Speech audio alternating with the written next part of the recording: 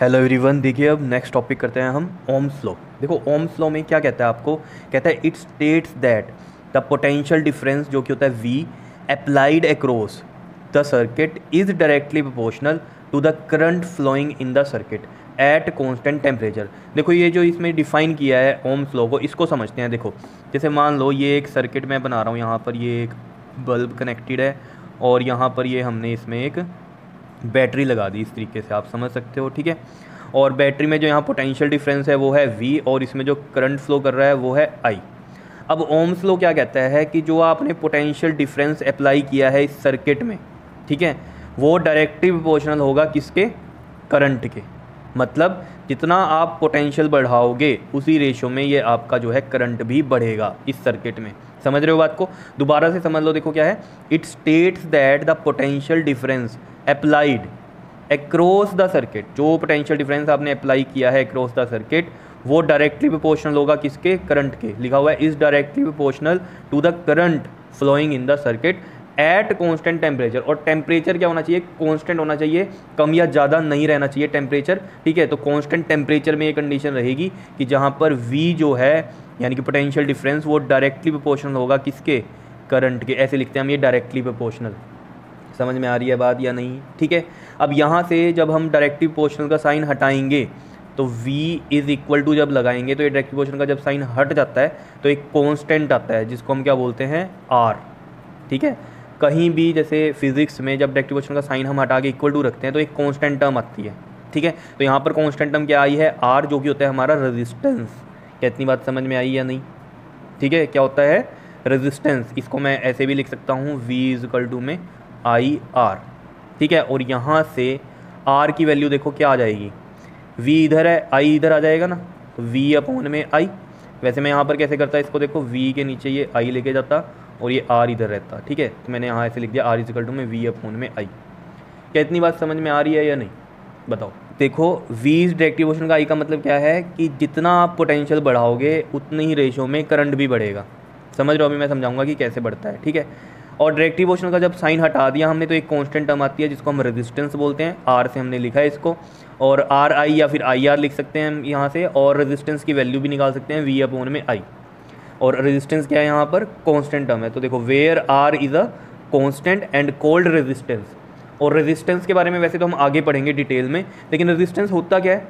जो कि रेजिस्ट करता है फ्लो ऑफ़ करंट को, ठीक है? जो करंट का फ्लो है, उसको क्या करता है ये? रेजिस्ट करता है। क्लियर है इतनी बात? बाकी डिटेल में हम आगे पढ़ेंगे इसको, ठीक है?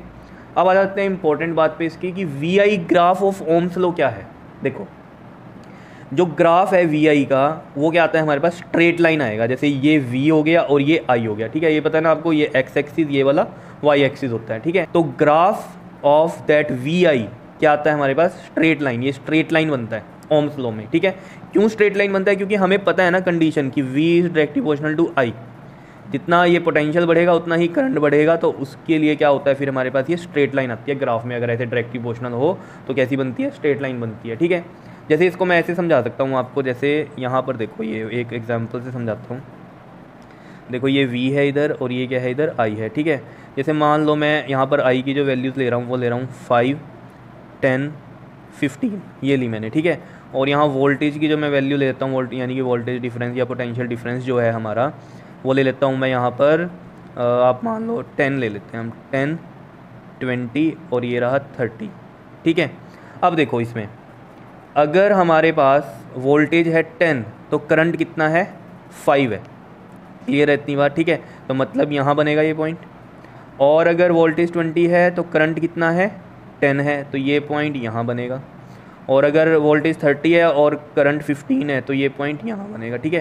तो इसको जब हम बनाएँगे इस तरीके से, ये स्ट्रेट लाइन बनेगा। अब देखो, बच्चों कन्फ्यूज़न क्या होता है कि वी डायरेक्ट डिवोशन टू आई का मतलब कई बार बच्चे ये समझते हैं कि जितना वी होगा, उतना ही आई होगा। ऐसा नहीं होता कि ये फाइव है तो ये फाइव होगा, ये टेन होगा तो ये टेन होगा, ये नहीं है मतलब। मतलब क्या देखो? ये वैल्यू देखो, पहले करंट की कितनी है? फाइव है और वोल्टेज की कितनी है? यहाँ पर टेन है। समझ पा रहे हो ये चीज़? ठीक है? अब जो अगली वैल्यू आई है, ये टेन ये क्या हुई है? पिछली की डबल हुई है। ठीक है ना? करंट में फाइव का टेन हुआ है। और ऐसी वोल्टेज में देख लो डबल हुआ है। टेन का ट्वेंटी हुआ है। मतलब अगर मैंने वोल्टेज डबल की तो करंट भी क्या हुआ है? डबल हुआ है। अगर मैंने यहाँ वोल्टेज ट्रिपल कर दी थ्री टाइम्स कर दी थर्टी हो गया यहाँ तो करंट भी कितना हुआ? थ्री टाइम्स हुआ। फाइव थ्री ज़ा फिफ्टीन हुआ। ये मतलब है कि सेम रेशो में ही बढ़ता है। ठीक है ना? वन टाइम बढ़ रहा है तो वन टाइम टू टाइम बढ़ रहा है तो फिर दोनों ही चीज़ें टू टाइम्स बढ़ेंगी। थ्री टाइम्स तो दोनों ही चीज़ें थ्री टाइम्स बढ़ेंगी, ठीक है? तो मतलब क्या है? वी रेक्टिवेशन लाई का ये चीज़ आपको समझ में आ गई। और ग्राफ में आपको पता होना चाहिए कि अगर डायरेक्टली पोर्शनल है कोई तो उनके लिए स्ट्रेट लाइन ही बनती है। क्या इतनी बात क्लियर है या नहीं है? बता दो मुझे जल्दी से। क्लियर है? अब देखो वी आई ग्राफ में हम स्लोप कैसे निकालते हैं, ठीक है? देखो स्लोप निकालने के लिए हम किस तरीके से करेंगे? Slope of V I graph ये लिखा हुआ है जो दिख रहा है आप सभी को, ठीक है? देखो, किसी भी लाइन का जब हम स्लोप निकालते हैं ऐसे ग्राफ में तो जो स्लोप का फॉर्मूला होता है, वो मैं आपको बता देता हूँ। स्लोप का फॉर्मूला होता है वाई अपॉन में एक्स ठीक है? स्लोप ऑफ़ लाइन क्या होता है हमारे पास? वाई बाय एक्स ठीक है? या हम slope of that V I graph क्योंकि वी आई ग्राफ का जो स्लोप है, वो क्या है? स्ट्रेट लाइन है। तो मैं ऐसे भी लिख सकता हूँ स्लोप ऑफ़ दैट लाइन इसको अगर मैं नाम दे दूँ ए ओ ए भी लिख सकता था। Slope of line O A या फिर slope of V I graph और वी आई ग्राफ क्या है हमारे पास? ये स्ट्रेट लाइन है, ऊपर लिखा भी हमने।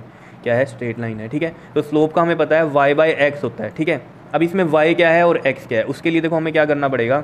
यहाँ मैं ये एक लाइन लगाता हूँ इस तरीके से, ठीक है? और ये मान लो यहाँ पर ये इतना वी है, ठीक है?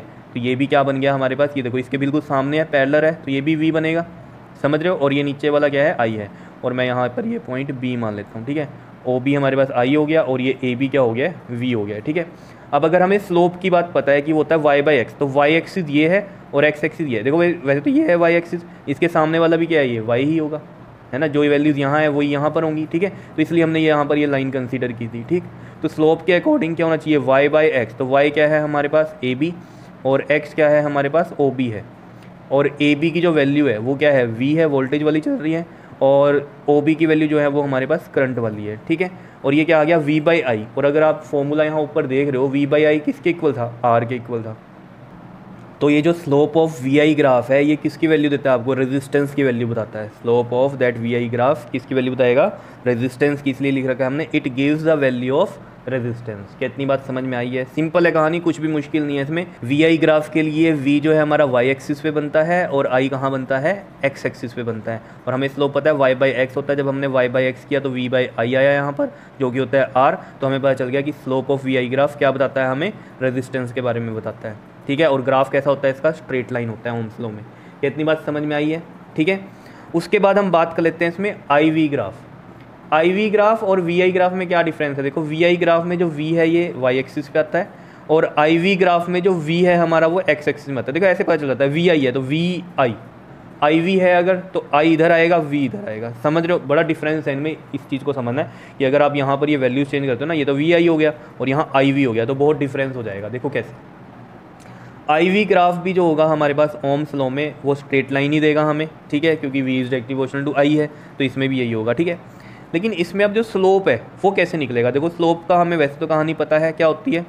वाई बाई एक्स अब लेकिन वाई यहाँ पर क्या बन जाएगा? करंट बन जाएगा, देखो। अगर मैं इसको नाम दे दूँ यहाँ पर, ये नाम चेंज कर देता हूँ, ये सी कर देता हूँ, ये डी कर देता हूँ, ठीक है? तो ओ सी लाइन का स्लोप है, या फिर slope of I V graph है, वो क्या होगा हमारे पास? वाई बाई एक्स और वाई क्या है? अब देखो, इधर आई है तो ये भी क्या हो गया?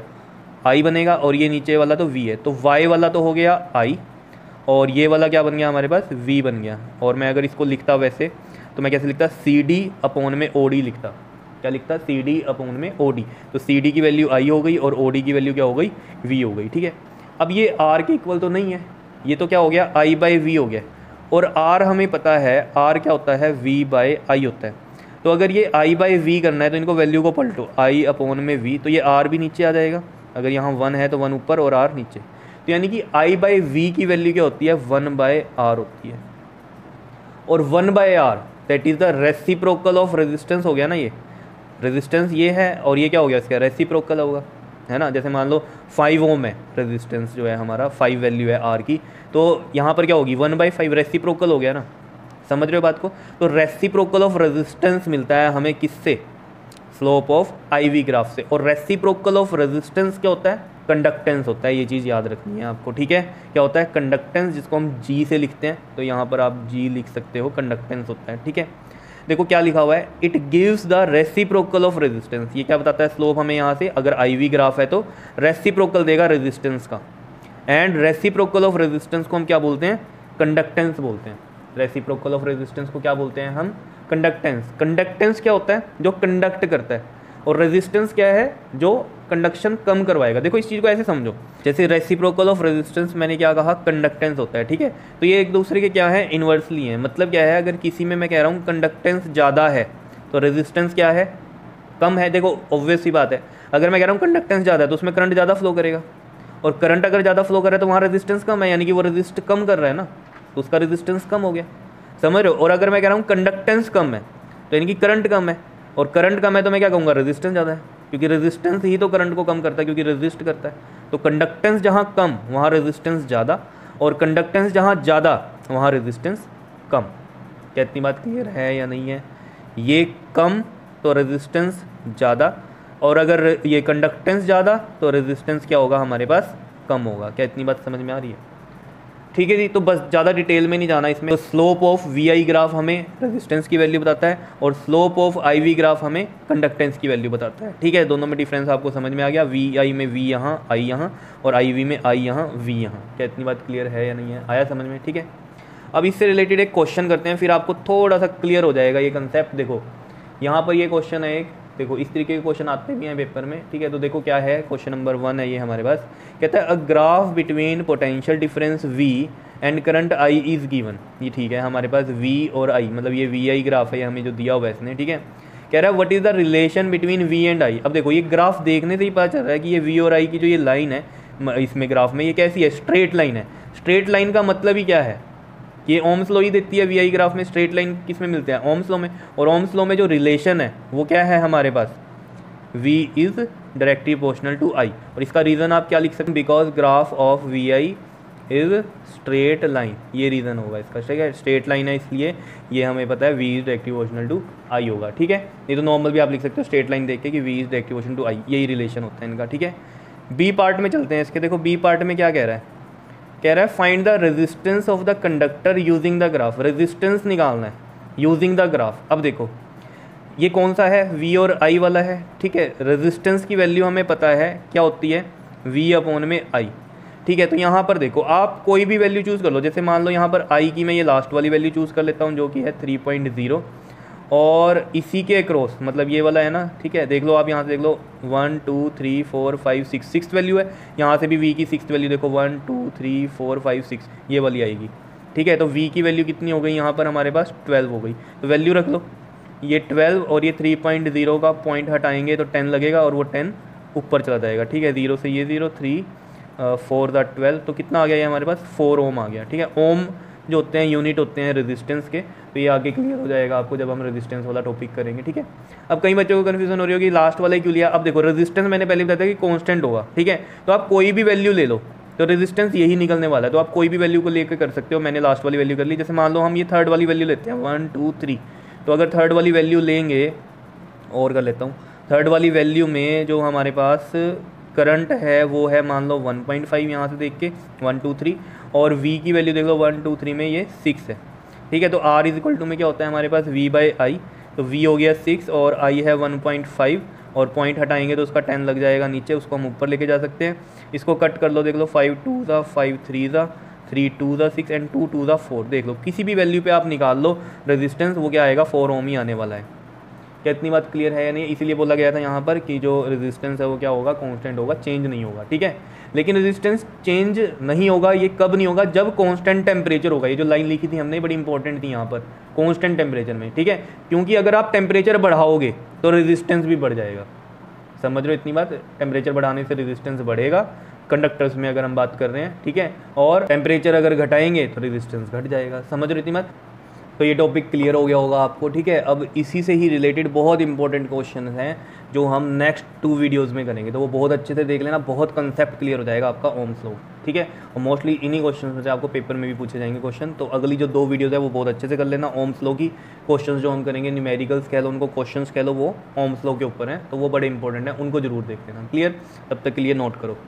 Okay ji thank you